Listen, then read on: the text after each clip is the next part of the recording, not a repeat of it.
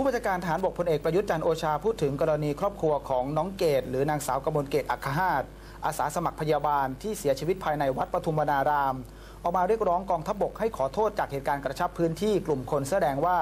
จะให้จะให้กองทัพขอโทษเรื่องอะไร เพราะได้ขอโทษแล้วก็แสดงความเสียใจกับทุกคนที่เสียชีวิต แต่จะให้มารับผิดชอบกับเหตุการณ์ที่เกิดขึ้น ถือว่าเป็นคนละเรื่องกันที่สำคัญทหารผู้ปฏิบัติหน้าที่ก็ได้เสียชีวิตด้วย จึงอยากถามว่าใครจะมาขอโทษทหาร ดังนั้นจึงต้องให้ความเป็นธรรมกับทั้งสองฝ่ายอย่าเอามาปะปนกัน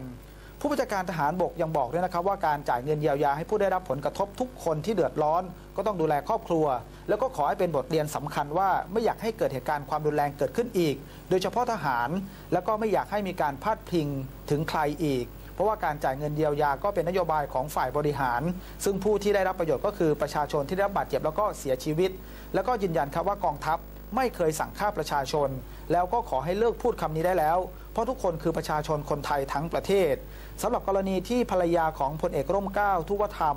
ยื่นหนังสือทวงถามความคืบหน้าของคดี ผู้บัญชาการฐานบกก็บอกนะครับว่าขณะนี้อยู่ในระหว่างการดำเนินคดีของ DSI ซึ่งเป็นเรื่องของกระบวนการยุติธรรม กองทัพไม่สามารถที่จะก้าวล่วงได้ เพราะทหารเคารพกติกาของกฎหมาย ดังนั้นทุกคน ต้องมองด้วยใจเป็นธรรมว่าบทบาทของกองทัพอยู่ตรงไหน